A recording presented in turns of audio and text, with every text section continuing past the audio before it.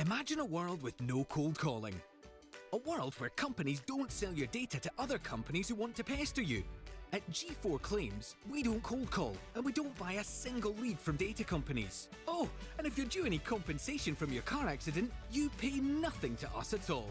For full accident management support, including motor replacement, repairs, and personal injury compensation claims, just search G4 Claims today for help the way you want it.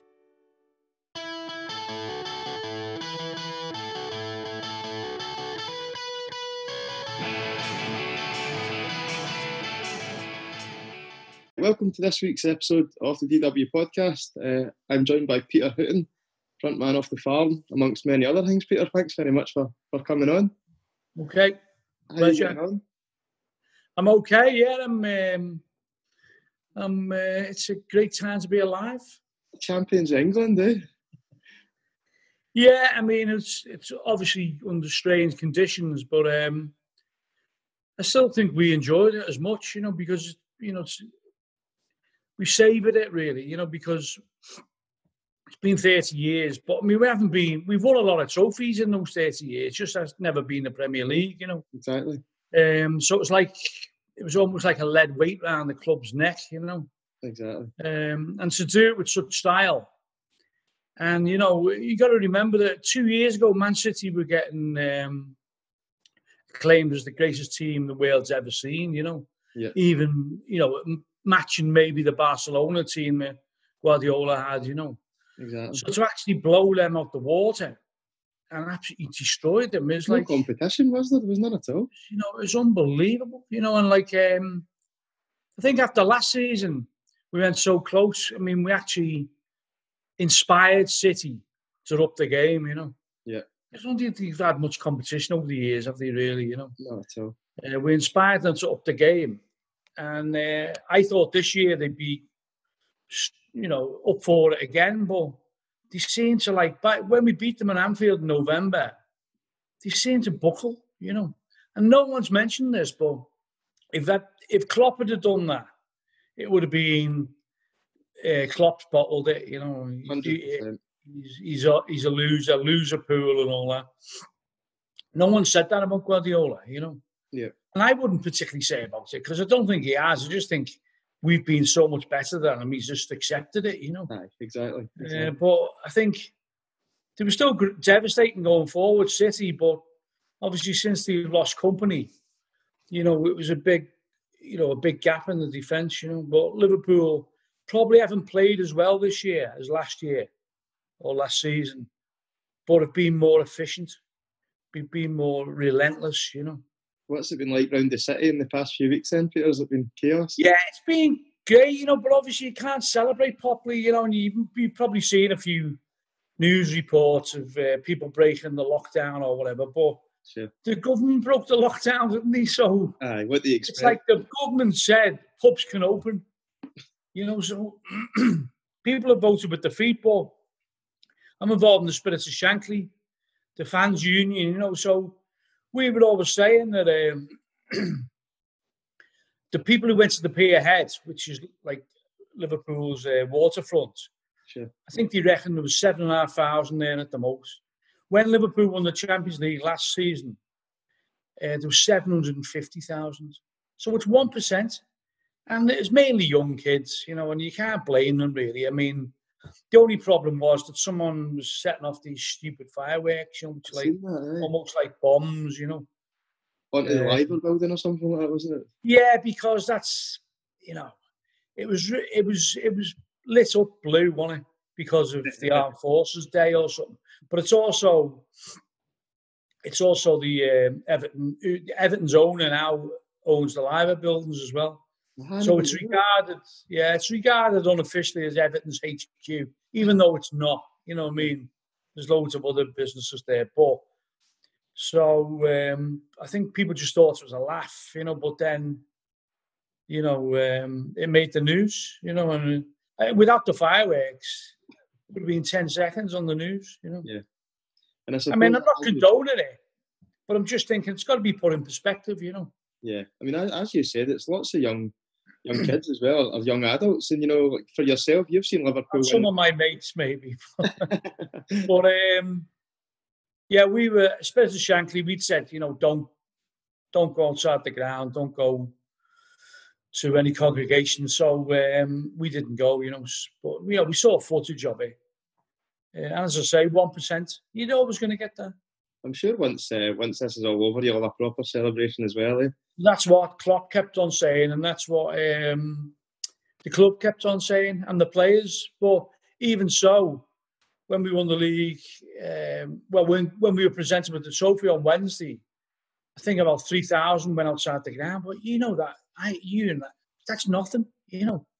That, and lots of them are families with the kids because they probably don't get the chance to go to Anfield. You know, yeah. they wanted to be I think it was more dangerous being in a pub nearby because the pubs were packed, you know. Yeah. But I'm not a scientist. I thought that uh, I thought the, the, the, celebrations on the telly the other day was it was great to see, but it was bizarre. You know, it was really strange. Yeah. Lifting it was bizarre because um, the Premier League took over it. Mm-hmm. So Liverpool, I would have thought, you know, should have been going up the rostrum to, you know, Fields of Anfield Road, yeah. Um, he ain't heavy. He's my brother. He's it for Hillsborough, number one, just was number one few years ago. And he never walk alone. But instead, it was Kanye West and Coldplay. But that's obviously an outside company coming in, isn't it? Yeah. You know. And listen, we, what can you do? It's the, it's the type of thing that you hate when you go to cup finals, where you have all the razzmatazz, and you know, I just want to hear the crowd singing. Mm-hmm. You know, I don't want to wait. I don't want to be drowned out by absolute uh, corporate bollocks. You know. And I think that Liverpool's got this famous history, and like the the club was so you know tied in with the music scene as well. You know, as you yeah. said, there's, there's so many songs that are synonymous with Liverpool. To hear these, you know, corporate, as you say, it's corporate rubbish. It's what is going on. Yeah, well, it's it's it, you know the fan culture, you know, is strong. So why not? Uh, celebrate that. But obviously, some of the Premier League thinks we've got to appeal to India, China, you know, wherever, like yeah. the Far East, the Middle East. So, you know, but I, I mean, mate, but they'll all, you know, 11 Walk Alone was played, wasn't it, at the end? So, you know, I suppose there was a compromise there, you know. Do you feel Liverpool is one of the last big football clubs that hasn't totally caved to this whole Asian market modern football thing? Even when you look at it's hard to say. When you look at Madrid last year, Peter, and you've seen, you know, all, all the musicians playing out in the, the big square out there and it's packed. I can't imagine many other Premier League clubs having something similar to that. No, but that's all come from grassroots stuff, you see, and then it becomes so big in the grassroots and in pubs and clubs in town yeah. that the club. I mean, the one thing about Liverpool Football Club is they have got their ear to the ground because they've got people on the, who are employed by them who know the score. Right. Um, and they've got a fan liaison uh, officer called Tony Barrett. Used to be a time, used to work for the time, used to work for the Liverpool Echo. Right. Then he went to the Times. And now he's a fan liaison officer, so he'll tell them all what, what goes on. Yeah. So there's a lad, few people get on guitar and uh, and you know get on stage in town, and these are for people who can't get in the ground, right? Because you have got to remember most most you know 16 to 25 year olds don't get in the ground.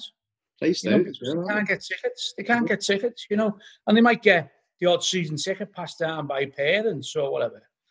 But it's very hard for them to get into the ground. So their culture has been in clubs in town, you know. Yeah. So when the match, big matches are on, you get certain uh, acoustic guitarists get up.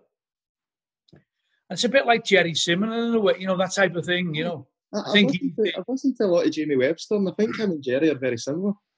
They are, yeah, they are, yeah. Um, so obviously Gerry Cinnamon, he's massive, isn't he? And he's done it. Seems to have done it on his his own, and you know, credit to him for doing that.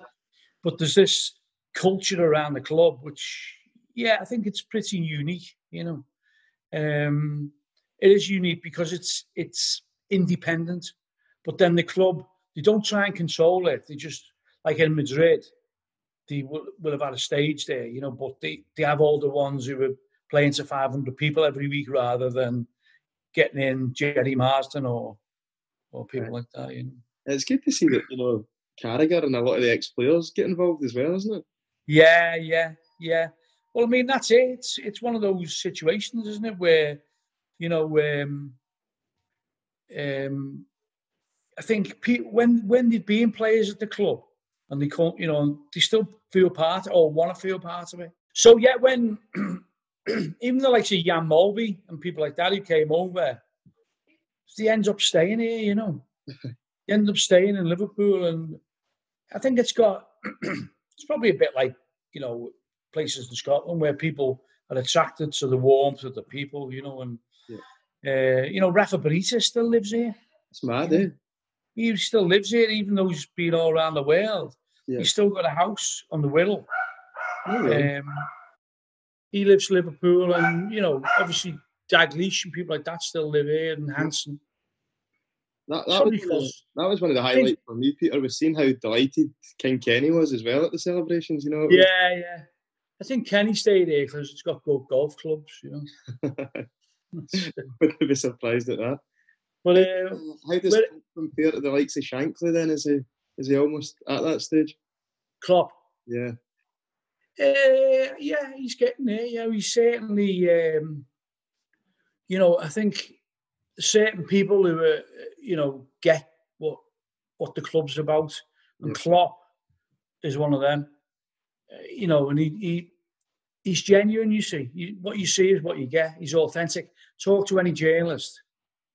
And there's something recently on Football Focus about him going to his old town where he Yeah. and his old clubs, and then they're saying he's exactly what he's like on the telly. That's him, and everyone says the same. And that was like that's the way Shankly was. Some managers put on a, a public face for the camera, you know, Mhm. uh, but he, he doesn't, you know. And I think he comes out with the right things at the right time. Yeah.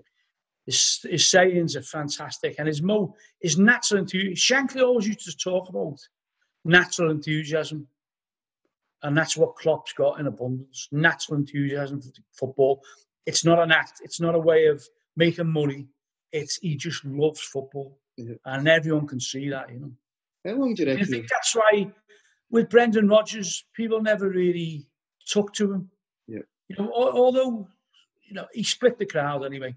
Mhm. 50 percent thought he just read a book on Shankly and came out with what he wanted to hear, and fifty percent uh, was saying no, no, he's genuine, he's genuine. But then there was other things going on in his private life which you're thinking, wait there, you know. I mean, Klopp's had his teeth done, Has he? Brendan had his teeth done Right. but everyone commented on it because of um, you know because he left his wife and went off with someone from the club and that you know so it's it's a bit different you know Klopp seems to be you know he's obsessed with football you know uh, I'm not saying Brendan Rodgers isn't but I just thought half the crowd thought he was a bit of a phony you know I think it's interesting no saying that because the same things happened up here in, in Glasgow with the Celtic fans when when he first came in. It was very much uh, Celtic fans were delighted. You know, it's boyhood team. He's back, and then he, he was out the Yeah. door as quickly as he could possibly be when he got a, a sniff of the Premier. Yeah. I think he was the way he left. Yeah, it was the way he left, wasn't it? I think that lacked a bit of class, you know. Mhm. I don't think the likes of Klopp would have done that, you know. Yeah. I don't think that's in his makeup to do that, you know, because Klopp's so confident in his own ability. He would have thought, let the Premier League wait. How long do you reckon he'll stick around for, Peter? Eh, I think he signed till 2020, um, but then um, he signed an extension of two years, which is unusual, you know, because everywhere he's been, Mainz, he was seven years at Mainz, seven years at Dortmund, and it was looking like he was going to be seven years at, at Anfield. So that would have been, you know, another couple of seasons. But everyone was thinking, oh, you know, but he signed this extension, so he might, he might, um, he might, he might stay to 2024. If he does, I think the next four years, you know, as long as everything gets back to normal with um, with the pandemic, know, I think I can see us going from strength to strength. You know, but I think we need the crowds back. I Hundred think you know, we need the crowds back because obviously, um, you know, our dominance at Anfield is based upon the crowd as well. You know. Yeah, Totally agree. What, what's your thoughts then? Every single Liverpool team seems to have a, a famous Scotsman in it as well. I'm I'm taking yeah. partial, partial credit for this success. Well, that's what we always said over the years. You know, we have, you know, since the um, the great teams of the 70s and 80s, we we lacked that um, that Celtic heart, really. You know, um, and Robert Robertson, you know, he's got it. And when he first came, Klopp wasn't playing him. You know, he, he was he was he was in you know he was on the bench for months and everything. Oh, he mustn't fancy him. He mustn't fancy him. And then when he when he started playing, no one was getting that position off him. He's an absolute warrior. He's unbelievable. He's he's the nearest thing I'd say to. Uh, he's Joey Jones, used to play for Liverpool, left back, but a lot more talented. Mm. So he's got the he's got all the attributes um, of a classic left back, you know, because he gets down the wing, he's got a good cross on him, distribution's good, and he fights like a terrier, you know. So he's probably one of the best left backs I've seen in Anfield, yeah. if not the best. It's been great to see his success as well because he just seems like such a professional, you know. It's and his his yeah. story from working in the tills and Marks and Spencers and playing with Queen's Park to winning the Champions League is you never hear that. You, never. It's a dream. It. It's dream come true stuff, isn't it? You know. Exactly. Fantasy, you know, really. What about yourself, then, Peter? What was your your earliest memories of growing up in Liverpool and, and going to Anfield, and then obviously um, with your, your career, then getting into music? Just, uh, I always remember um, just going. First memories were football, really, from my childhood days. Obviously, going to church as well. You know, my mum take me to church. I'd sing at the back of church. You know, uh, much to the annoyance of the priests. you know, but uh, uh, looking back on it, I'm glad I annoyed them. You know, but uh, football, yeah, I was from an early age. I was just obsessed with football. You know, um, and really started going at an early age, but um, my dad used to take me. My dad uh, worked with a fella called Ray Shelley, and Ray Shelley's dad was a, a trainer called Albert Shelley, yeah. and Albert Shelley was one of the boot room boy type situations. You know, he, he's not famous as, such because he retired in the 50, 1950s, but he carried on working for the club for years, like as a volunteer. You know, yeah. one of them. Um, so he was the trainer so my dad knew his son, so we'd get him tickets for the obstructed view. You know, so my earliest memories were obstructed view at Anfield in the main stand. My dad had a season ticket from the early '60s in um, the Kemlyn Road. But if you ever got tickets off this Ray Shelley, uh, he'd take me. So I always remember. I was always fascinated. The Kop was to the right of you, so you're right looking at the Kop, um, right in the corner, looking at the Kop's just to the right of you. And I was always obsessed with the the Kop as much as the game, you know, uh, and the songs and thinking, you know, one day I can go in there. You know, that's all I was thinking of, you know. Mm-hmm. And one day I did go in there. Never I've been a season ticket holder there, you know, since the uh, early 90s, you know. It's funny that you say that because I feel that kids nowadays, what what's almost missing missing a lot for the British game is, I remember when I was growing up, similar to yourself, and going to watch Motherwell, that you're actually more obsessed with the fans and the singing and the camaraderie than you are with the, the heroes on the pitch. And I think the more that the atmosphere drops out, it's it was almost like a lost generation of people coming through. It's yeah, it is. But I think Scotland have got a. I mean, I went to a few games up there when me me mate's uh, lads was playing. He was on loan from Everton. Uh, uh, Conor Grant. I know. Aye, aye. He was a yeah, great yeah. midfielder, by the way. Yeah, he was. Yeah, well, he still is. He plays for Plymouth now. But we went to Motherwell, and like they had this bat, load of kids in the corner yeah. with the drummer. We thought it was fantastic, you know. But I mean, I'm not sure what I'd like it at Anfield because I don't particularly like drums, you know. But uh, it's interesting because uh, I mean, personally, you know, I've always been in that corner and, and been involved with, with that the kind of groups. And at first, when that was brought in at Fir Park and in Scotland, people were thinking, what is going on here? You know, the fans are thinking, get that drum, fuck, get that. You know, yeah. the more that it's built, people have taken to it. And, and people have taken to it. Yeah, I can understand that. I can understand this. Certainly South American atmosphere, isn't it? You know. Yeah. And you know, a lot of fans have adopted that culture, but I was pleasantly surprised when I, um, I was there. And they, was, they had a Beatles song that they were singing. Must have shout it would have been I. Shout, and I just thought it was brilliant, you know. But you, you've been similar on the in the Kop, You know, I, I always remember looking at the old videos, and probably when you were first starting to go to the Kop, and you know, people are singing full length Beatles songs, like yeah, harmonies almost. Yeah, I, I wasn't going. I wasn't going in them days, but I've seen footage of it. Uh, but yeah, there's footage of them singing "She Loves You." That's it. And also, um, anyone who had a heart by Cilla Black, it's a Burt Bacharach song, you know. Mm-hmm. Uh, and the are swaying and the singing all the words, and, that, and it's just it's magical to watch, you know. And I think, you know, music is still important. You know, it's still important for uh, for, for fans. You know, and I think you know they'll adopt they'll adopt you know um, popular songs for players' names, won't they? You know, and that's that's the way it should be. And everyone's always looking for the next big, you know, big song. I mean, I suppose um, uh, at Anfield it was probably LA, LA, LA, which was from a Italian disco hit from the 80s or something. Is that where that came from? That's where it came from, yeah. You know, like a really Euro pop. Euro pop, yeah. Yeah, you know, and it's like, but it works on an acoustic guitar, you know. Yeah. When, when uh, and so, yeah.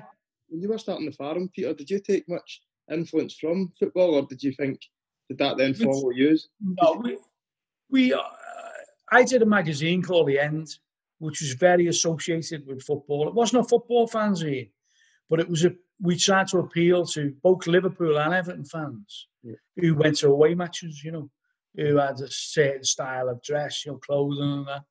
So we were definitely uh, um, writing for people who went to away matches.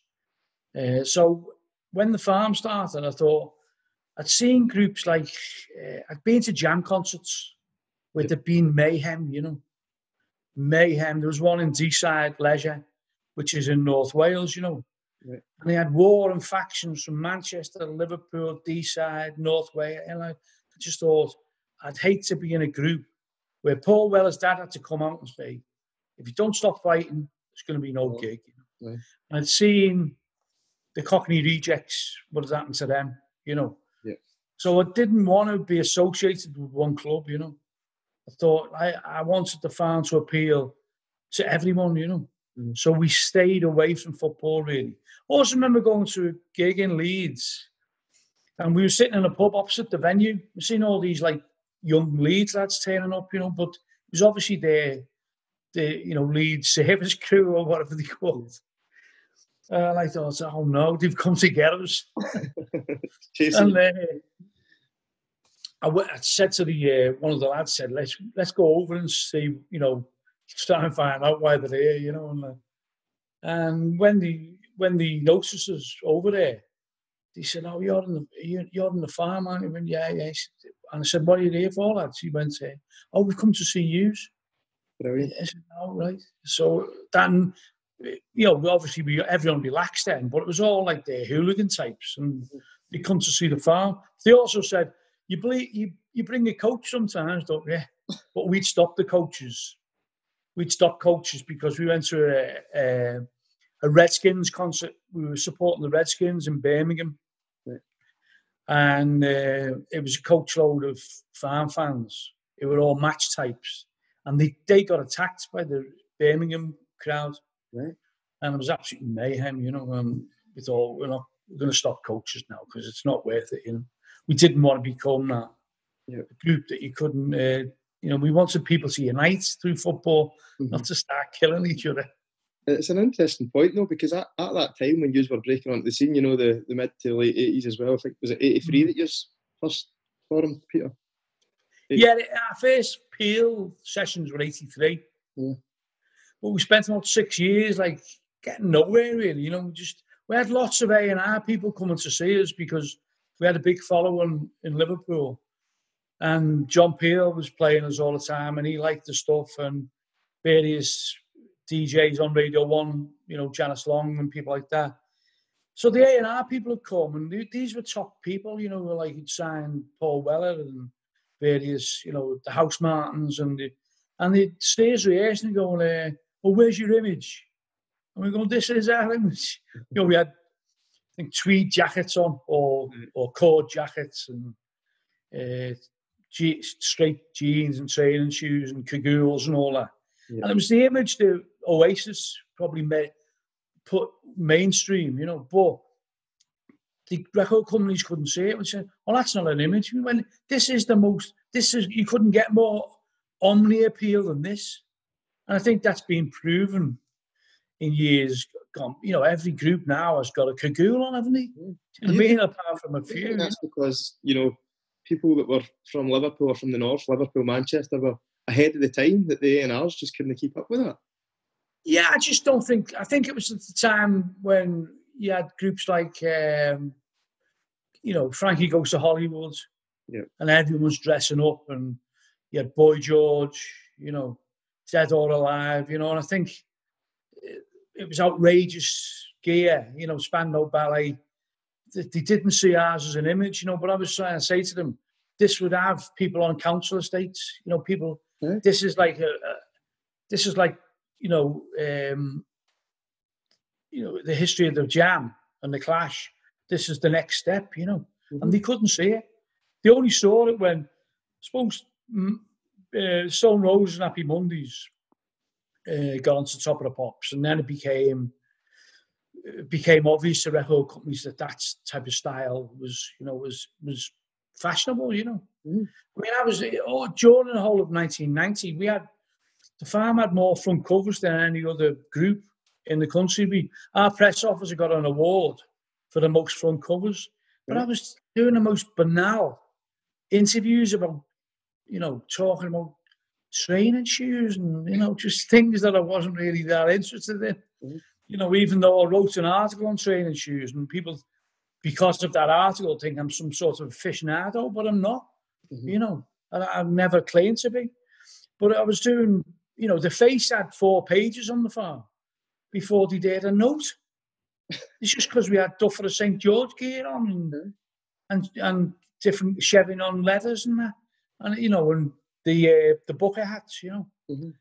And because they'd seen the Mondays and all that.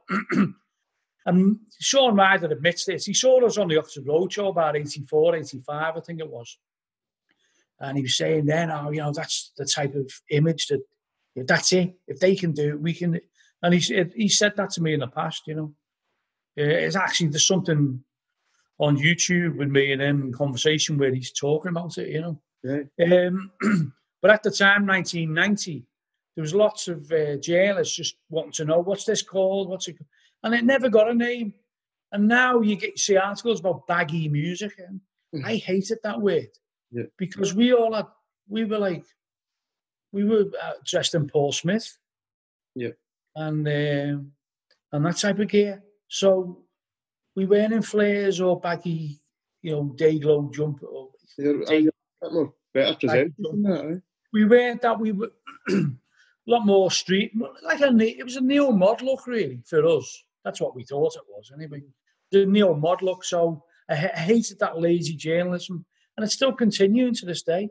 Yeah. You know, but um, it's people who don't understand it. You see, you know. Round about that time, uh, Peter, you know, it was obviously, you, you spoke a bit there about the football fans and the terraces and getting into music, but it was mentioned 1990, and that was round about the Italia 90 stuff as well, wasn't it? And Yeah, you guys became pretty synonymous for the No Alla Vi- Violenza t-shirts as well. That's it. That's it. I mean, that was a massive T-shirt, really, because it was so f- fashionable. I think also the dark days of the eighties.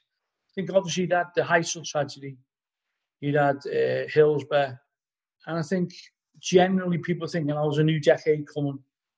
There's a new feeling," and obviously the dance craze, ecstasy. Uh, you know, a lot of football fans got into that and it was it was nothing it was nothing to do with Margaret Thatcher trouble stopping at the matches. It was basically uh, a change in society and a change in attitudes and and culture really. You know, and then I always remember when we were in London, we were in this club called the Limelight, which was a famous club on Shaftesbury Avenue, and we just been doing a recording session with Suggs, who was our producer. And we said, "Let's go and see Terry Farley." the DJ, he was playing in the limelight. Like, so we went in there. I walked in and uh, noticed about 20 lads in the corner who all looked like f- football, you know, casuals. That's what they called them in London. Like, well, I, we never call them casuals, you know. But anyway, anyway, one of them comes up to me and immediately I'm thinking, oh no, the Nova Scouts is all And he went, uh, all right, Scouts. He went, uh, how many of them, uh, how many of you are there, you know? There's about seven or eight of us at the bar and a few more coming in. So I exaggerated saying about, about 20 of us. He said, I want to buy it all. I thought he was trying to find out how many to do was in, you know. And he said, I want to buy it all a drink. And he said, where are you? You know, where West Ham? You know, and like shaking my hands and all that. And it was then it was realised that people have been writing about it, but until you actually experience something like that, and we didn't accept a drink off him. We say, no, there's too many of us now. Just leave it. No, we not, you know, you're in the farm, I It was all that type of thing, you know. And um, it was real. It was real. I mean, obviously, I think it was induced by uh, um, DMA, you know, it was like ecstasy induced it. But people, humans had another side to them. It was peace and love, you know, but it wasn't peace and love on a hippie trip. It was like, this was working class culture, you know. Mm-hmm. Um, and, and just a pity that it. And Peter, it's funny the way that it's went from you know, you, you had the the football hooligan outbreak in the eighties, and people were knocking lumps out each other. Yeah. And you had Thatcher obviously trying to shut this down, uh, going down hard on hooliganism. But then these people who are for working class council estates across the country then get into dance music, and yeah. they were they were all coming together and then once the dance craze took off and ecstasy got on the scene, Thatcher tried to shut that down as well. You know, it was yeah, yeah, yeah, yeah. Mm. Yeah, I mean, well, they were trying to shut down anything that was mm-hmm. seen as youth rebellion, weren't they? You know, so it was. I went. I actually went to that rave that made the front pages of the of the new tabloids. Did you? Yeah, yeah uh, and not by not by design. We were we had a gig in Reading that night, and then after the after the gig in Reading, uh, the promoter said, "I'll come to this party. It's it's a good party. My mates are putting on. It was like a reggae party, yeah. and it was in a marquee in someone's garden, and it was brilliant. You know, great DJing, but it was all it's mainly reggae and all that. It wasn't really dance music. Yeah. anyway, we were going four o'clock in the morning. We decided, you know, told the driver we should go home. You know, want to go home now. You know, so he pulled into a service station, and there was cars coming from everywhere you know, with all people dancing in them. And not just, you know, 18 to 25 you know, those fellas in the 50s dancing. You know. We thought we've got to follow these wherever these are going. So we followed them and it was that rave. Really? Uh, I think uh, there's only about, there was six and six in the group then. I think there's only me and the drummer, Roy, went. The others fell asleep in the back and they missed out. But we went to it and we were there till like five, six, seven in the morning, you know. And it was like in a in a aircraft hangar. Right. It was absolutely bedlam, you know. And it was, you know, it, it, it, was an experience. I wouldn't say I enjoyed it. You could see, you can think, there's no stopping this. Mm-hmm. You'd have to, the police will have to like put roadblocks and stop this. It's, it was, you know, it was a, it was a people's movement, you know. I feel that the farm almost crossed those divides though. You know, you, you could cross into the indie scene, but also the dance scene as well. And yeah, yeah. I mean, we we, we always saw uh, our mentors were big audio dynamite. wasn't really the Manchester scene. I always dispute that. We were trying to be, or we, we'd seen what Mick Jones had done with dance music, coming out the Clash, and the big audio stuff equal MC squared and uh, the bottom line and all tracks like that. And we were obsessed with them.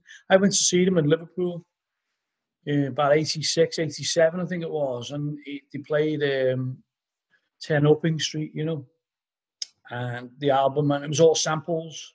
And they were using samples on stage and spaghetti westerns. And I just thought, this is the future of music, sampling stuff. And so I become a bit obsessed with it.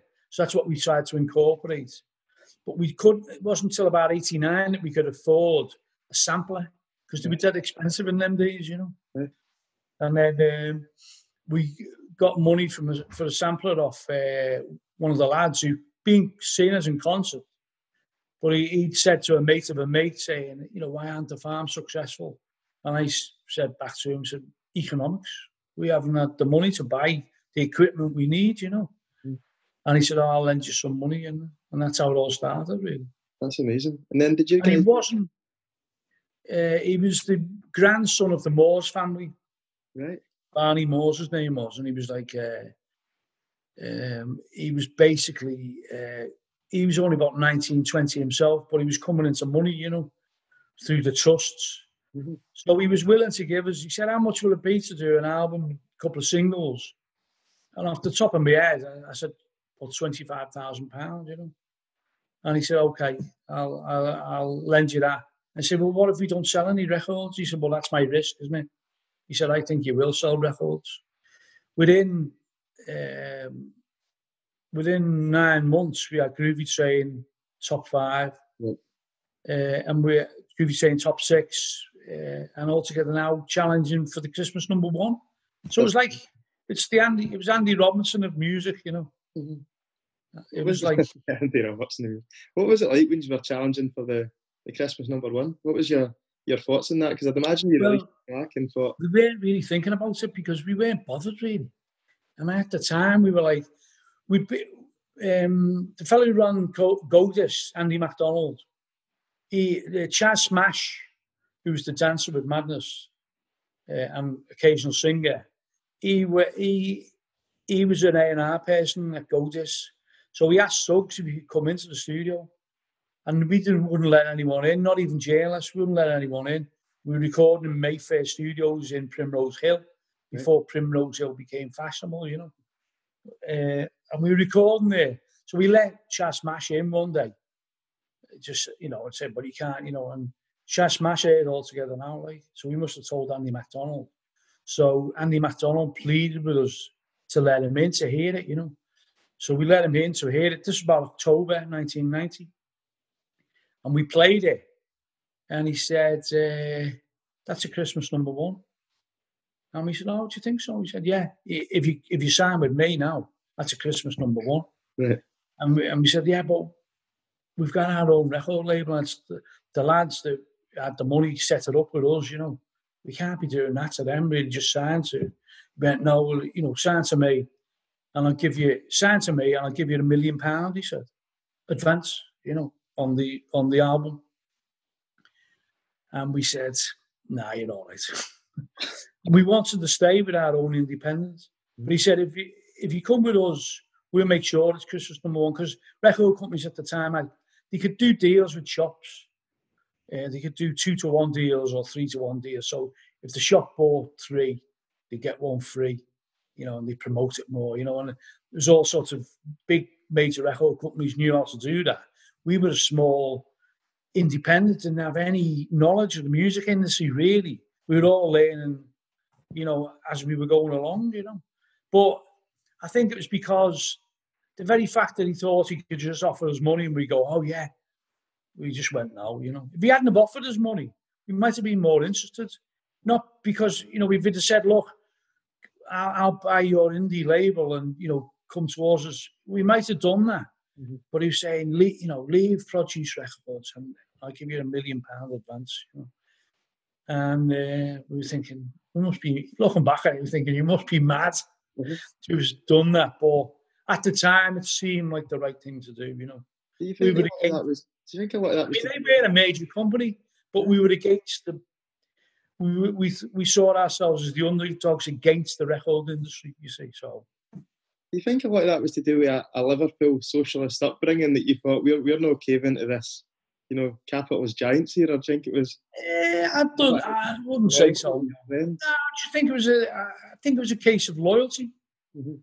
You know, but um, you know, we've two 18 months later, we fell out with everyone anyway. So, and then we signed to Sony yeah. for, you know, for a big advance, you know, but that was because, you know, by that time we had 20 odd people on our payroll, you know. Mm-hmm. Suggs always said to us, whatever you do, lads, don't ever get your mates on the payroll. And that's what and you've done? No, we'd never do that. We'd never do that. and we did exactly the same because that's what you do when you, you know, all this money's flooding in. You're going, and you can see your mates who've you know helping you out on various things in the past. So we should be paying them for doing this. Let's you know start paying them. Yeah.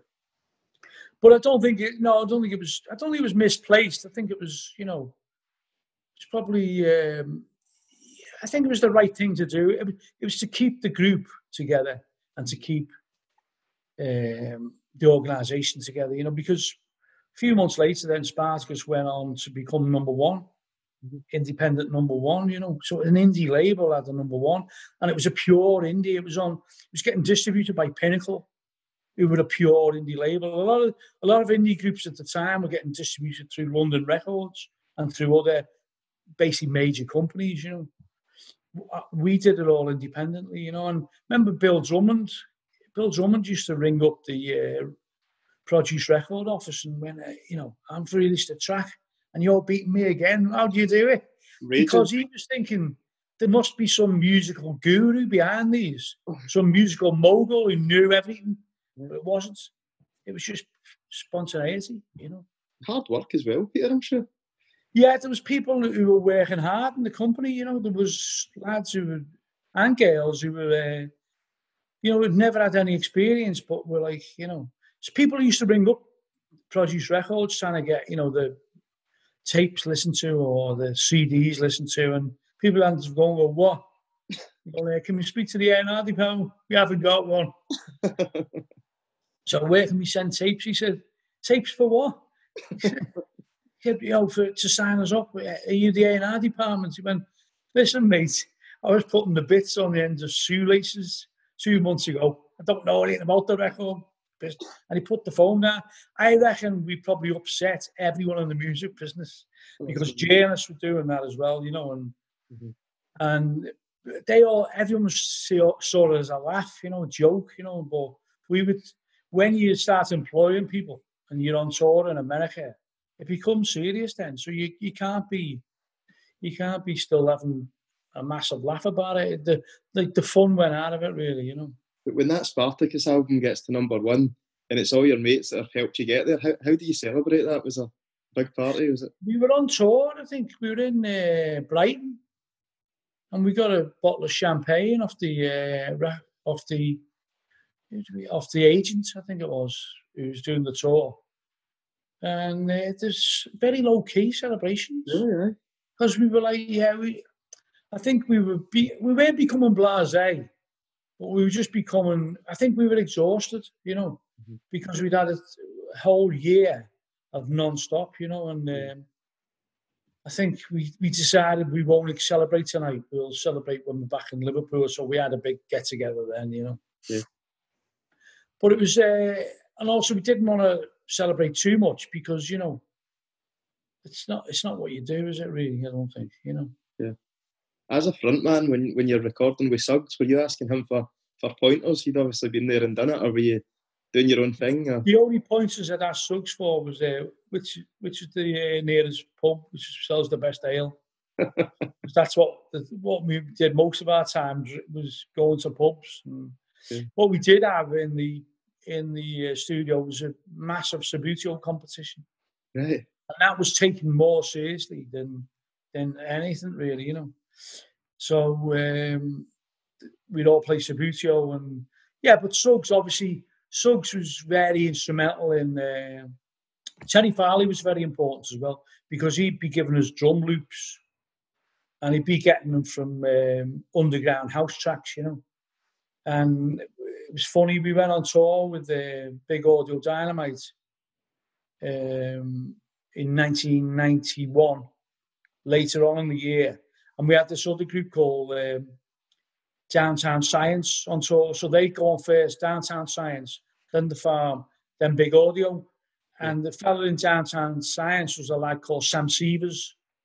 And he was basically a, a rhythm man, you know, and he'd done a lot of the rhythm tracks for Third Bass right. and other other groups from New York, you know. And uh, we were doing a sound check one day, and he called to us and said, uh, "I recognise some of them loops." And we went, "Oh yeah, why?" He, you know, do you know third bass? He went, "I was in third bass." They're my drum loops. There's about seven of them. the album, you know. And we said, "How much do you owe you?" And he went, "No, I'm flattered, man. I'm flattered. You know, I'm flattered, that's hilarious. You know, you know.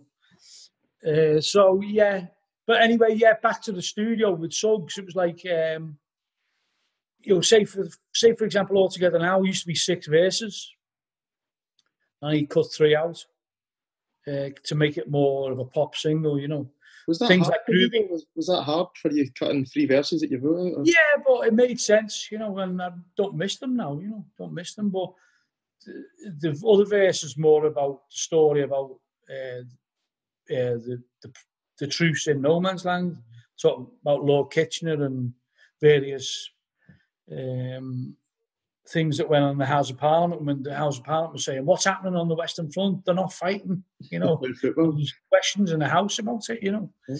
Uh, so yeah, but it, it- the gist of the song and its meaning was kept. But say, for example, Terry Farley, he'd say he'd suggest like um, on Groovy Train where that guitar uh, bit at the start that was originally a middle eight. Right. So he was saying, "Oh, I can hear that at the start," and that becoming the feature of the song and he was right. You know, so it was, it was it was a mixture of you know different great ideas. You know, Yeah. Sugg spent more time going through the actual makeup of the songs and the lyrics, Yeah. but uh, eh, Terry Farley introduced the um, groundbreaking at the time. I mean, Stepping Stone was our first single, and that used the Power Snap by the Power Right. Okay. they'd got it from um, a 70s track called uh, Waiting for the Mardi Gras I uh, forget the name now. But anyway, um, Terry Farley brought this white label into the studio and went, This is the biggest thing in, in London clubs at the moment. This is the biggest track, and it'll only ever be under, underground. He said, I can't see it going mainstream. And it was the that, that one. So we put it on the stepping stone, slowed the track down, and put the song over it, and it worked. You know, worked perfectly. Anyway, by the time we released Stepping Stone, the Power was at number one on the official charts. You know, Yeah. because obviously a record company had picked up on it, released it. But it was that type of um suggestion from people that would probably have never have come from the group. You know, well, it wouldn't have come from the group. You know, so it was a, it was a jigsaw really. It's interesting that you say that though, because I feel that now, Peter, a lot of musicians that they want to be seen as being original, but you guys are more than happy to take samples or take other ideas and make it your own. And Well, you know, most groups, uh, it's beg, steal, and borrow, isn't it? that, Yeah. yeah. But they don't want to If, admit it. you- if you listen to um, some of the early Beatles stuff, you know, it's all taken from the blues, you know, and um, a lot of them we were covering blues tracks, you know, Yeah. but then they were taking riffs from blues tracks, and the Stones and Led Zeppelin are famous for it, you know. Mhm. Yeah, there's whole compilations of albums where they got their ideas from, you know. So yeah, and even um, I always remember uh, Bowie said, uh, and it was just the day after the copyright had waived about Starman, and he said, "I got that from the Wizard of Oz," uh, and you'd never know it unless No. someone said, I never knew that story. "Ah, "Somewhere there's a star," and that's it. And he said, "I got that from the Wizard of Oz," but he he waited so the copyright had waned in America to admit it, you know. That's clever. And uh, I think that's, I think that's most groups will admit that, you know. What was it like when you guys were touring America? Because that was around about 94 as well, wasn't it? The USA World Cup? Uh, we toured America about three or four times, 91 to 94. Mm. Probably split the group up. Really? Yeah, probably did, yeah. Too much time together? You, it's it's not as, uh, I mean, we had some great times, but um, there's a lot of pressure on you, you know, because um, I was always worried my voice was going to go. Right. You know, you'd have three days on and a day off, and then three days on a day off, and you're in usually in a tour bus, you know. And everyone's saying, "Oh, well, you know, it's not really hard work. Hard work, you know." But but Keith, our guitarist, was like, you know, he was an ex-bricky, Sure. and he was saying, "This is the hardest thing I've ever done." It's- easier working on the building site, you know. But I think it's just the fact that so many people relied upon you doing well, you know. Mhm. It's a big pressure, you know. And I think sometimes, you know, you felt as if you were losing it, you know, because lack of sleep, you know, excessive, uh, you know, excessive um, drinking, lack of sleep, uh, having to do interviews. I know why now big stars do one press conference because if you're talking all day like this, your voice starts to go. Yeah. You know, if I, I remember being in Los Angeles once, and I was like, they were saying, "Oh, we've got a few interviews lined up," and it was from ten o'clock in the morning till five at night, and then I had to go and do a gig, and it was like I was answering the same questions over and over, seven hours, seven or eight different publications, and even now you can tell my voice is going a bit now, even just talking, you know. Yeah. It's like so. you know, it, it was. Brilliant. I'm not saying it, it was a brilliant time, but everyone starts getting on each other's nerves, and Yeah. you know, you start thinking, well, they're not doing, they're not pulling the weight, they're not pulling the weight, you know. And it, those inevitably, those tensions uh, come to the fore, you know. Um, and also, when you're on tour, you can't be writing, so you're getting demands off record companies for the next single. But you know, you need time to be able to write it, you know. And um, I think by '94, when we toured America, I really enjoyed that tour because I thought this is our last tour. This. I'm not doing this again. I was just thinking. Uh, so we, I decided to enjoy it rather than worry about it. You know. Mhm. Uh, so we had, had a brilliant time. That that one. You know. Would I be right in saying this, Peter, or am I totally wrong here? And was it around about 94, 95? Did you just do a cup final song for Everton as well? No, it wasn't me. No. What was the story? No, Keith. Keith. Keith is, there's three Liverpoolians in the farm and one Evertonian. That's about, I'd say, and I'm not joking here, that's probably the ratio, the ratio in the city, you know. think so, aye. In the younger age group, it's probably even more, four to one maybe, you know. Right, okay. But, um, you know, and uh, obviously you'll get people go on Facebook and Twitter and saying, oh, no, the People's Club, Everton. It's just absolute nonsense, you know. But, but what can you say? They've never had a, Everton have never had a, a higher average attendance uh, than Liverpool since 1969. Right. You know, 20, 30 years before the tourists came, you know. So I think generally, you know, it's anyway, three to one in the group. But Keith's the Evertonian, Right. and uh, they got Everton. The people people who do the players' pool wanted to put out the cup final record, so they got session musicians in London to record it, and then asked the farm permission. I said no, not because it was Everton. It wasn't. I, honestly, it wasn't. It was because they were changing the words. I didn't want the words changed. You know, because I didn't want to. Because that's your work, isn't it? It's like your baby. yeah, I didn't want the words changed, but uh, in the end, Keith was on the phone and he had his lad in the background crying his eyes out. He Oh, was going to meet the team and go down to Wembley with the team, you know. And in the end, I just asked my dad, said to my dad, so what do you think? He go, well, it's about people, jo- enemies joining in no man's land. So if you don't let them have it, it's a bit hypocritical, isn't it?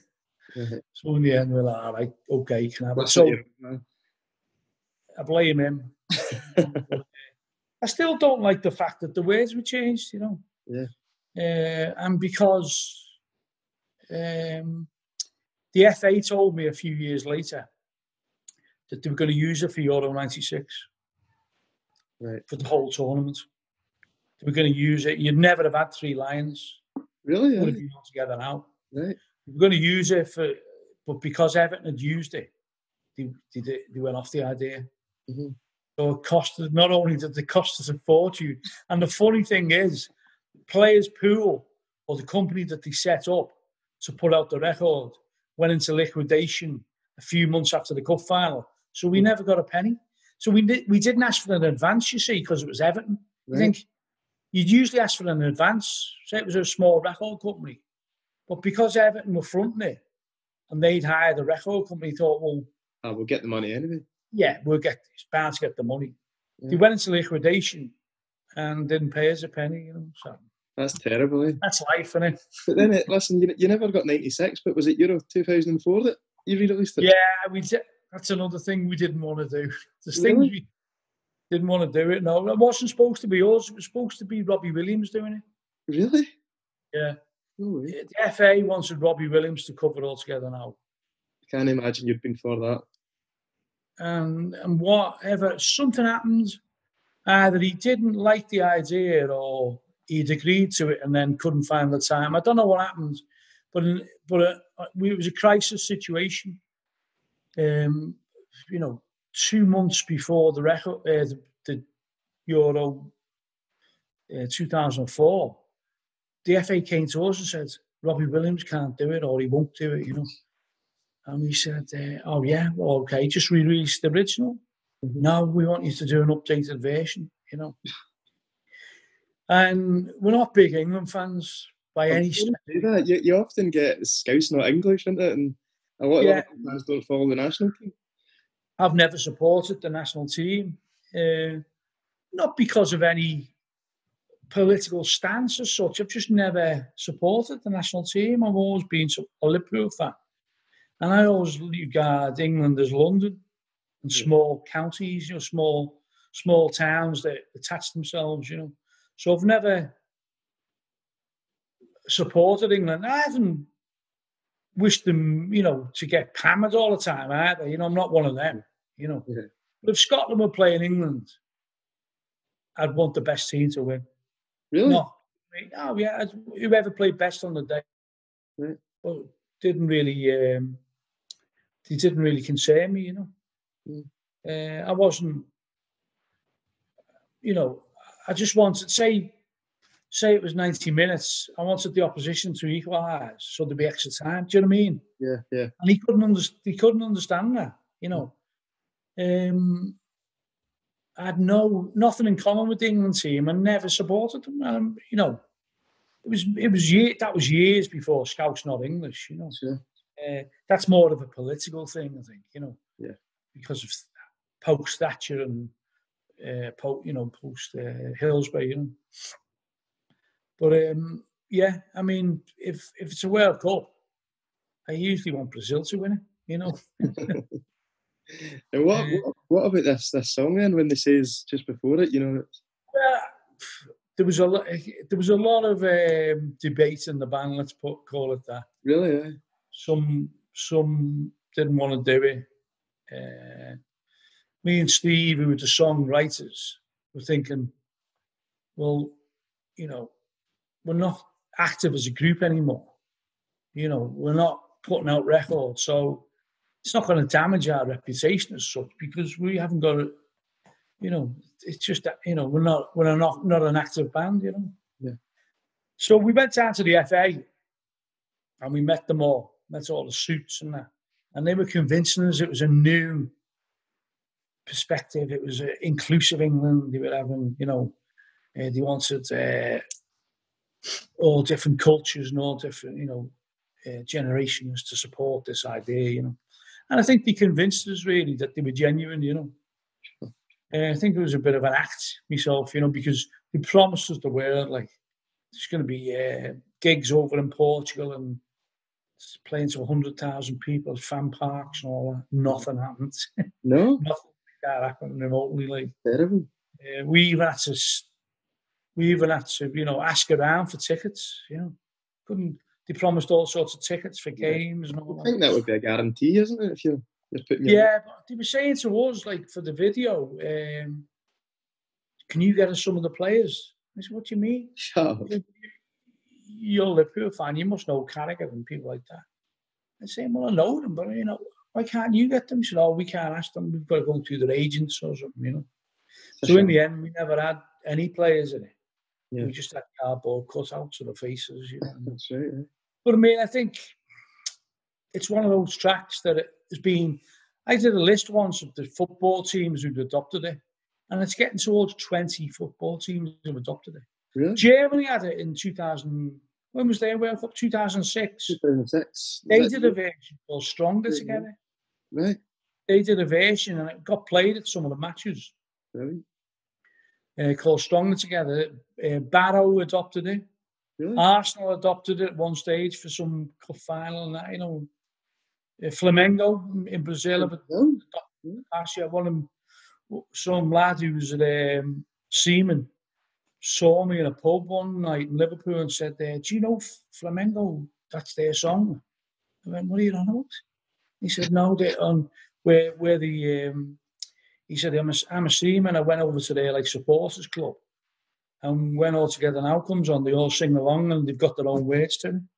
That's mad. I did. Well, like I've never heard them singing it, you know. But I'm I'm willing to believe that. That must make you proud, though. Like a, a song that you've wrote like that, having such a, Yeah. a lasting legacy across the world. You know, it's Yeah, I'm, yeah, yeah. It's been uh, it's been great for us, you know. It's been great for us, but um, you know, I, if I had my time again, I'd say I wouldn't have done the Everton song or the England song. You know, Mhm. uh, the England song was basically the original with the choir on it, so they didn't change the words. right. But I don't know. We're not England fan. You know, it's I, there's a dichotomy there. You know. What's been your, your most recent highlights, Peter? Obviously, not not, not recent now, but obviously you don't buy the Sun gigs and the, the Justice Collective stuff. And Yeah, I think doing the Justice Tour was the highlight, and doing the um, uh, He Ain't Heavy Christmas number one. Yeah. Uh, with Guy Chambers, you know, he was brilliant, uh, and he'd written songs with Robbie Williams, believe it or not. You know, he was the main. He wrote um, a lot of his hits, you know. Right. But um, yeah, the Justice Tour was fantastic because uh, it was just an idea. Originally, it started off as a Don't Buy the Sun tour. Mhm. Uh, but after talking to some of the Hillsborough people uh, who'd lost the Hillsborough Justice campaign, they said, well, it's not really about the sun. It's about justice for the 96. Yeah. So maybe you should change the, i- the title. So change the title to the Justice Tonight tour. Um, so the Don't Buy the Sun gig was originally in Liverpool and it was in September 2011. So that was before the independent panel report came out and before the inquest, of course, you know. So there was still that false narrative in the country that it was Liverpool fans were to, blame, you know, and supporters were to blame.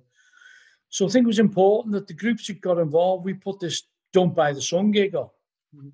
And James Dean Bradfield was going to do it, but then eventually he couldn't do it because his wife had the baby of, of that week, in that week. But uh, one of my mates, Davo, who was in Big Audio Dynamite, but also a roadie for the Manic Street Preachers and the Stone Rose and other groups, uh, told Mick Jones about it. And Mick Jones said, I'll come up and do it, and I'll do Brilliant. Clash songs. that's now, for him to do Clash songs meant it was a big deal. Yep. Because he said, and he was talking to us in the rehearsal, he said, uh, we, I never do Clash songs now. For I only do them if I think Joe would want me to do them. Mhm.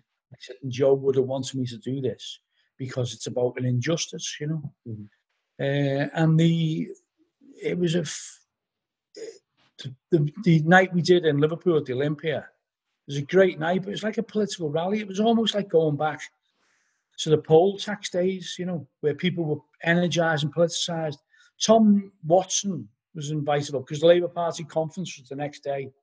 Well, Tom Watson at the time was taking on the Murdoch Empire. that's We right. yeah. didn't know what he'd turn out to be, but at the time it looked like he was he was taking on authority. So he came and did- done a speech. Len McCluskey, head of Unite, did a speech. Uh, Steve Rotheram was an MP for Walton at the time, did a speech. He's the Metro Mayor now. So we had all these political speeches and all these bands on. Uh, John Power from Cast did it. Excellent. Uh, the Farm did it. Uh, also, we had the Justice Night Band, which was Pete Wylie, uh, three songs. The Farm, three of songs, and then seven or eight Clash songs, you know. And it was such a success. Everyone come out of it saying, "You can't just stop there. Something else is going to happen." The next day, we were in town having our breakfast, and Mick, Mick Jones came in. He'd stayed in the drummer's house. Um, and he said, uh, "I want to take this on tour." So it's like a football team. That's that was the pre-season friendly. That's the way he talked. That was the pre-season friendly. I want to take it round, uh, you know, the UK, and then we'll go into Europe. And that's what he was talking like. Mhm. And then it was really through Davo that all the groups got involved. because he was a roadie for them, I think he was on the phone somewhere. He he was actually in rehearsals with the Stone Roses, and he must have been asking them about them, you know. Right. So they said, "Oh, we want to do something." They just sold out three three days, three nights at Heaton Park. So that's uh, 240,000 tickets in about an hour or two hours or so. That was their big comeback show as well, wasn't it? It was. It was, but they did. Ah, that was in that was in June, July 2012. But they went on stage with us in November Right. 2011 to do a couple of songs. They did Bank Robber Yeah. and uh, a Rosa song, and it was only in a venue in Manchester, thousand capacity. Amazing. But it was brilliant, brilliant, special moment, you know. Mhm. And then we did Glasgow uh, with Glasvegas. Then we did uh, first gig we did was with uh, in Cardiff, and James Dean Bradfield got up for that. Right. Uh, so we do a, one of his own songs and, and a cover, and he did "Come Back" by Wylie, you know. Excellent. So every year we went with Richard Hawley and Reverend the Makers in Sheffield. Then in London it was um, Primal Scream And ex members of the Clash got up as well, Paul Simonon. Unbelievable time, you know. It was, oh, it was like a, it was like Mick Jones, like the Pied Piper. He was like, Everyone was like it was almost like what was happening with Jeremy Corbyn in 2017, you know. Yeah. It was like a, people were just following him, you know, Mhm. and energized by it, you know. And I think um, after that, the Stone Roses then said, you know, because it was a great success, you know, uh, Stone Roses then said, will you come on a few gigs with us in, in, the, in the summer? Uh, and we did, and we played Leon. Eric Cantona got up for that. That's amazing. Did should I stay or should I go? Was he singing? Singing, Right. yeah. yeah. Uh, and um, I, someone said to me, someone said to me before the gig, he said, "Oh, he's only doing this because Mick Jones is uh, producing his his his partner, Right. she was a singer, you know." So I thought I better ask him, you know, to see his. I said, uh, "Do you realise what you're getting involved in tonight?" And he gave me a big speech about Hillsborough. He knew all about it, and he went, "It's a massive injustice." Mhm. And he, if you ever see Football Rebels by Cantona, have you ever seen that? I've not seen it, no. Oh, it's brilliant. See, it's on. You can get it on YouTube. Right. The one on Socrates is absolutely brilliant. How footballers use their fame to go against uh, injustice. And Right, okay. I think Cantona's he introduced us it. Yeah. He was definitely in that mode, Cantona. And that's he a Man legend, you know, doing something about Hillsborough and But that's it. Yeah. So in many ways, it was exactly the same sentiments as all together now. You know. Yeah. Really. Um, and uh, it only made the Liverpool Echo and the Manchester Evening News. that's You know, all the papers mentioned it. If I'd have tripped them up on stage or pushed them over, everywhere. just- but uh, you know, it was a great because there was no bad news. It never made the news, you know. But for me, a story like that is important. Yeah. You know, and it never really. You can you, you can Google it now, and there's not much references to it. You know, it might be a BBC reference that was online. Cantona on stage singing the Clash is surely national newspaper stuff, isn't it? You know, it's, I would have thought so. Yeah. But you see, Hillsborough still a, it was before the independent panel report come out, so there were people like that, probably the newspaper editors, oh no, touch it. get on with it, you know, get, get over that with it, Mm. you know. But you can't get over something when you know there's an injustice. So it wasn't until the independent panel report came out in September 2012, which was after Heaton Park Yeah. and after um, we'd done the, the gigs, that it, you know, the truth was established. We knew the truth, but the truth for the society was established. And then when the inquest came, 2016, I think it was, they finished, and it was like uh, all 14 points. Mhm. Fans were exonerated, and the authorities were to blame. And we knew that all along. We knew that. I think even taking up to the modern day, though, Peter, it, it doesn't seem to me like justice has been done. You know, it's Well, it depends what you mean by justice. You know, a, a lot of people would say that the inquests were justice. Yeah. It's whether you want revenge. It's, uh, I don't know. It's I can't speak for the family, so I'd never attempt to. You know, but for me, the establishment in law of the truth is a form of justice. Um, now, I can understand people thinking, well, people have got away with it. No one's actually served one night in prison for it. You know, is an injustice, and I can, I can, I can uh, sympathise with that view. But for me, um, you know, the truth is justice. If you, do you know what I mean? Um, uh, Duckenfield was tried, uh, and he was found not to be solely responsible, and I can understand that because he wasn't solely responsible. There's a whole group of people around him who were culpable, yeah. who didn't help him on the day. There's a long story about that. That he was he was fast tracked in and he got the job ahead of other people because uh, Brian Mole, who should have been doing the game, was uh, one of his staff was involved in a prank, right. and he was put on gardening leave. It was a prank for someone's twenty first, and the armed police uh, jumped out of cars and got him with balaclavas on. Right. yeah, down a back alley. Right. He thought he was getting robbed. Then he took the balaclavas off and said, ah, ah, ah it's us. And it was police done it. And it, it was a, a, policeman's son or someone, you know, Douglas Hurd found out about it. So he put uh, Hammerton Road, which is the police station for Hillsborough, on on um, Brian Mole, who did all the matches there. They put him on uh, gardening leave, you know. Right. And if you really read into it, you can tell that Duckenfield was brought in, university educated, fast tracked in. They didn't like him. Mm-hmm. The staffs didn't like him. No one at the ground seemed to like him. Sure. And I think on the day, everyone just went like that.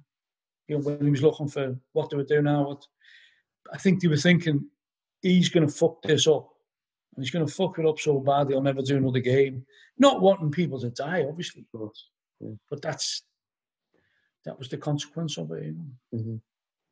And I suppose you know, and we started off on it, and I suppose we'll end off on it. It's uh, it's been some terrible times over the years, but Liverpool's back, and we can only look forward to the, the future. And what, what's what's in the future for the Spirit of Shankly, yourself, and, and Liverpool fans in general? Um, Spirit of Shankly, we're still dealing with the club. I think it's become now we're even on their press releases now. Brilliant. You know, he went through this idea of having football forums, um, community forums, and different. You know, but I don't think they were working. You know, I think they realised the spirit of Shankly uh, at a cross section of supporters, and we try and do things in interest. We're a supporters union. That's what we are. So if there's any ticket issues, you know, we get involved in them and say, "What have you tried this idea?" So they see it like as um, you know, the club. They know we're not going away. You know, we've been going for like twelve years now. You know, and uh, and we were campaigning for uh, you know various things. But what the most recent thing would be there's been a fan update. There's 27,000 season ticket holders at Anfield. But they reckon a big percentage of them are dead. You know, just yeah. being passed on. Yeah. They're being passed on through family, you know. Oh, So they're trying to establish who actually owns the season ticket. So we've been involved in that process and trying to help people out because a lot of people are struggling. Like I had to do my dad's. My dad's, you know, still got a season ticket and he's in his 90s, you know. Yeah. So uh, I had to do it for him because you know he's not online as such. You know, he's online a bit, but he's got an email address, but yeah. he would not upload a photograph. I did it. it. Took me two minutes to do, you know, but you can imagine people. The windows are shut at the ground. You can't get one to ones to do it. Yeah. People want to pay cash and they can't pay. You know, so there's all sorts of problems. But so we're liaising with the club you know, on various things, you know. Um, so the spirits of Shankly, I think, it's still in, still still have an important role, you know. Yeah, out. They fan representation, you know. I'd imagine at first, Peter, they thought you were a bit of a pain in the arse, and now they're realising that you aren't going away and you're making a difference. Yeah, I think so. And also, as I said before, there's people at the club who think genuinely these mean they're not doing it to empire build. You know, Yeah. it's not the corridors of power being, you know, um, seduced by the corridors of power. Yeah. They're doing it because do you think it's the right thing to do? You know. Um, I had the boot room boys book out 18 months ago, so that's still going fine. Where can Um, people check that out? Where's the best place to buy it? Uh, uh, probably a local independent bookshop, I'd say. Have you seen the cover of it? I have, but if you've got it there, let's see it for those that are watching. Yeah, I've got one here. So, and it's really how um, you know one once one legend, one Scottish hero came. Um, that's the book, but it's about the determination um, of Bill Shankly to transform the club in his image, and that's what it is now the lin- the lineage is there, you know. Yeah. Um, it's been broken a few times over the years, but Shankly created a dynasty, which Paisley w- went on to, uh, and Fagan, and then Dalglish. And it was really, I think, Souness gets the blame. I think it was Dalglish, myself. I think he was responsible for a lot of the demise of Liverpool, ironically, you know, Yeah. because I think he was trying to modernise the club, you know. He, ge- he did away with the boot room, really. Souness gets the blame. And Souness gets the blame for like because the Premier League wanted a media room, and uh, the media room was. Um, I was I'm trying to find a photo, but uh, um, the media room was the was the old boot room. That was the only position you could have, you know. And um, so that's the photograph of the boot room. Yeah. That's the last photograph of the boot room. Um, there's the old boots in there, and it's getting, and that was demolished under under Souness's reign. So he gets the blame for the boot room. But by the time Souness took over, the club was going downhill. There was no youngsters coming through. The, the signings had been terrible. When Souness arrived there, uh, I think he was warned by Alan Hansen. Said it's not like when you left. You know, there's hardly any players here. There's only John Barnes. Mm, you know, everyone. You know, that's what he said basically. Yeah. What had happened in um, '86 is uh, uh, um, asked Geoff Twentyman, the scout, to uh, to leave because he had a bad back. He was 55. He was the best scout in Europe, regarded. He bought everyone from Clemence to Keegan to Rush, to everyone. He was the one who got them, you know. He was asked to leave, and uh, uh, Souness found out about it and got him up to Rangers. Really? Yeah. I So never he was the scout at Rangers when Rain when Rangers started doing well in Europe. Yeah. Some of the buyers were people that Geoff Twentyman had recommended. You know, he said you should buy him, you should buy him. You know, and he recommended people like Mark Walters, I think. But then people would say to him, "Well, Mark Walters ended up playing for Liverpool." He said, "Yeah, well, twenty. I wouldn't have recommended him for Liverpool, but he suited Rangers." Do you know what I mean? So it's whether, but I think if 20 minutes had stayed on, uh, Liverpool's scouting wouldn't have dropped off a cliff. Yeah. So we wouldn't be in a position we were when Souness took over, you know. Yeah. So, um, I mean, I could have put that in, I could have spelt that out in the book, uh, but it wouldn't make me that popular on Merseyside. But I think if you read the book, you'll understand that that's the watershed moment, summer of '86. Now Liverpool went on to play brilliant football up until, you know, Dalglish left really, Yeah. '91. But there's There was changes coming over that period. people they, they weren't buying the right players. They were buying Mm. terrible players. And um, Ron Yeats took over as head of scouting. You know, great player, great character of the club, a legendary player for Liverpool Football Club. But he'd never done any scouting in his life. Never. But he used to play golf with Kenny. Right. So, do you know what I mean? That's where you think you know, jobs for the boys almost. Well, yeah, and I think Kenny said, uh, "I don't go in the boot room anymore because, well, I, I'm not going in the boot room." He said, "I'm not clever enough." Which you think to yourself, that's a bit of a, a snub, wasn't it? Really, but what he did do is he got. Uh, he said all he wanted in his new office, and this is when he took over as manager, is a bar, like one of them bars with the optics on. Optics, because he was, wants to invite the managers into his his his room after the game. his man after the game, Yeah. not the boot room. Right. So I think there's a bit of mythology that Souness dismantled the boot room. I think it I think it was Dalglish, you know. That's interesting. Any any gigs coming up, Peter? Any any music in the pipeline? We had 15 festivals lined up. Mm. Uh, Are they a few most of us going till next year, or will you be doing Yeah. the next year? Good. postponed until next year. And if they're outdoors, I think if you're outdoors and your arms length away from people, it'll be all right next year, presumably. Uh, it's just whether indoor gigs happen, you know. Sure. Uh, but it's one of those things, you know. It's not until it's taken away that you miss it, is it really? Yeah. It's like people used to moan about too much football on telly.